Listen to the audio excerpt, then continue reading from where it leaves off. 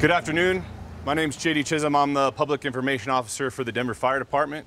Uh, myself and members of different agencies throughout the city wanted to just have a quick press conference to, to answer some questions that we've gotten uh, leading up to our 4th of July holiday.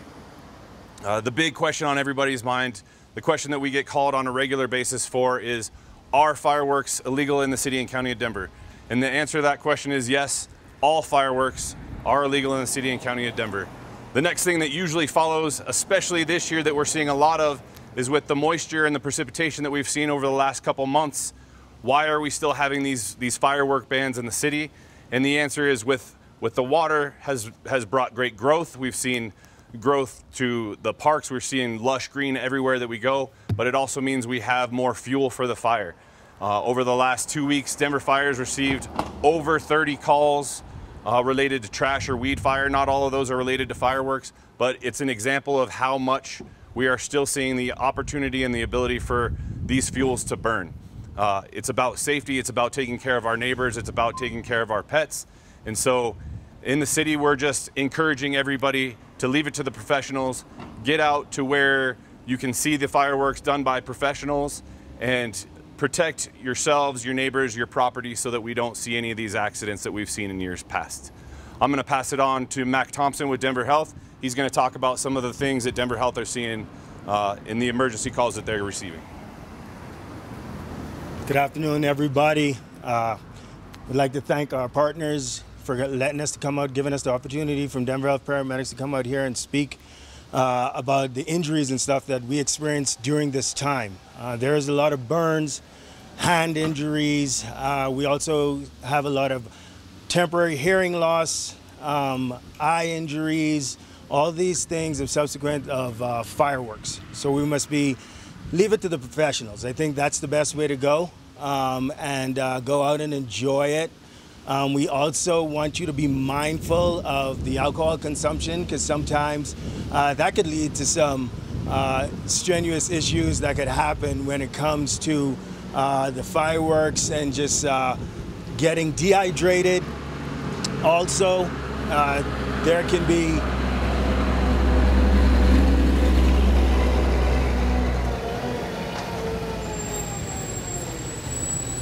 problems with the sun, heat issues. Uh, we also see a lot of people fall victim to heat exhaustion and also it can go as far as heat stroke. Um, when you notice certain symptoms, you want to be very mindful of it, move people to the shade, get them hydrated.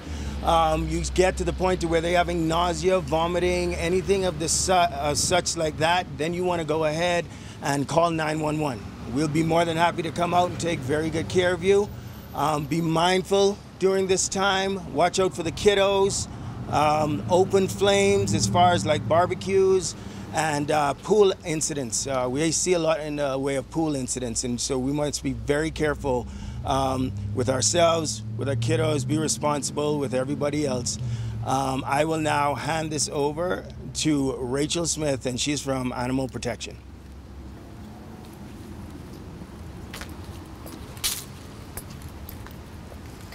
Good afternoon. I'm Officer Smith with Animal Protection, one of the lead officers with Denver.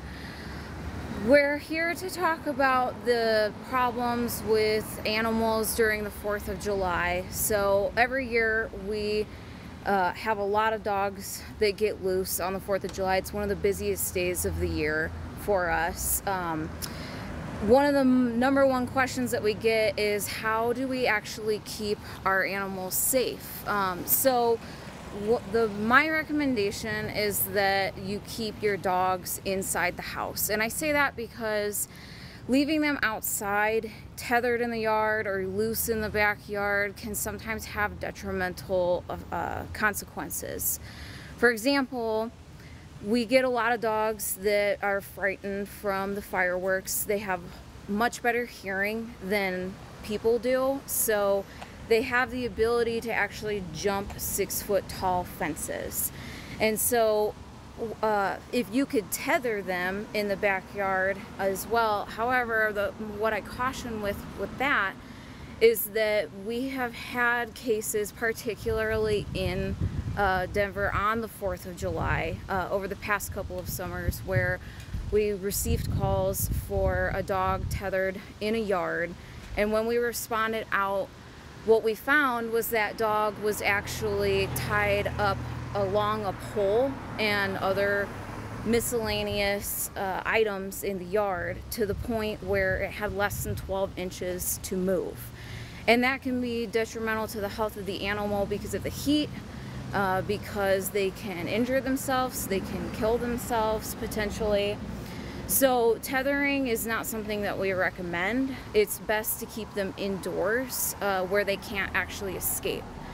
One of the things that is required for both dogs and cats here in Denver is that they are required to be licensed. So we have uh, tags that should be affixed to their collar or harness at all times. And the great thing about those tags is that on the back of them they have a QR code that actually anybody can scan and find out who the owner is and their information, your phone number, your address, so they can actually bring your dog or cat back to you instead of an officer from animal protection picking the, the animal up.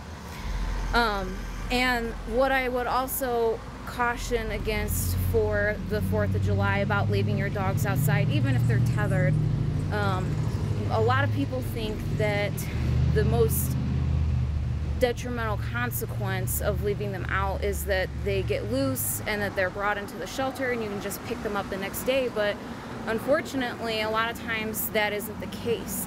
They get hit by car. We had a dog uh, two summers ago that actually broke off of a steel chain and because it was so frightened from the fireworks and it actually ended up attacking and killing another dog. So there's so many different reasons to keep your dogs contained inside the house. It's safest for your animal and it's safest for other animals as well. If your dog or cat does get out and you're trying to locate them, what we would encourage you to do is go online to the Denver Animal Shelter website and you can find photos and ID numbers for your dog or cat there. We don't actually encourage to call 311 or non emergency dispatch uh, just because their lines get tied up. So all of their information is updated constantly all day, every single day. So you'll be able to find them easiest that way. And so now I'll turn this over to 911.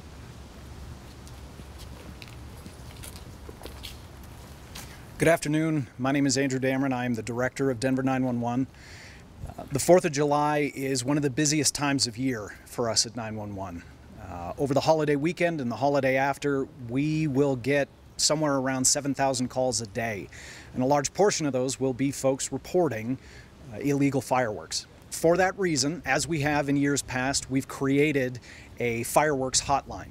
That phone number is 720 913 2059. Again, that's 720 913 2059. If you dial 911 simply to report illegal fireworks and you don't have an emergency, you could prevent someone with an actual life or death emergency from getting through to a call taker in a timely manner. So, for that reason, we ask please that if you are calling to report illegal fireworks, you utilize that hotline. One more time, that's 720 913 2059. And with that, I will pass it off to Jay Anderson with the Denver Police Department. Good afternoon, everyone. Technician Anderson, Denver Police. I'm assigned to Southwest Denver and District 4. As it's been said before, I will reiterate it again. Fireworks, uh, to possess, sell, or use fireworks in the city limits of Denver is illegal. And if you are caught with fireworks, you could be uh, punished up to a $1,000 fine and possibly a year in jail. So try to enjoy the holiday without the use of fireworks and just with family and friends. Aside from the fireworks, it also causes um, a lot of medical emergencies, as was stated before by my partners with the paramedics. Um, we'll also see a lot of alcohol related incidents. So if you plan on drinking, using marijuana, and you uh, can't find a ride, there's always rideshare apps that are available for that, or just stay home. Because if we're responding to those types of uh, situations, then we're not responding to other calls for service. These types of calls can be avoided. Uh, again, I'm going to go with that number if you wish to uh, report anything. That's 720 913 2059, and that's the hotline. Now, you're not going to get an immediate response from that, but we do monitor that hotline. Another way to report is denvergov.org forward slash 311. Now remember, if you want to file a complaint on a, on a fireworks uh, complaint, you need to file a written complaint for us to take action. Otherwise, we don't we, we cannot uh, charge anybody with the fireworks complaint if we don't have a, a, a signed signature. So with that, I wish everybody a happy holiday and a safe one. So a question was asked if we're expecting to see incidents of fireworks increase within the city where we're seeing more and more people light them off over the next weekend. Uh, we absolutely are expecting to see that. That's why we're trying to get out here ahead of uh, the holiday weekend to make sure that we can just encourage everybody to be looking after their neighbors, looking after their families. Uh, we do want everybody to have a fun, safe holiday weekend. Uh, it's not that we don't want people to enjoy themselves, but we do expect to see uh, incidences of fireworks increase, and so we want to remind everybody that it is uh, illegal within the city and county of Denver.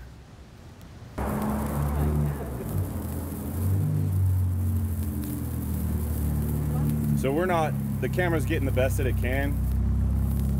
And right now, I mean, we're able to easily get 700 degrees out of these sparklers just right at the spot.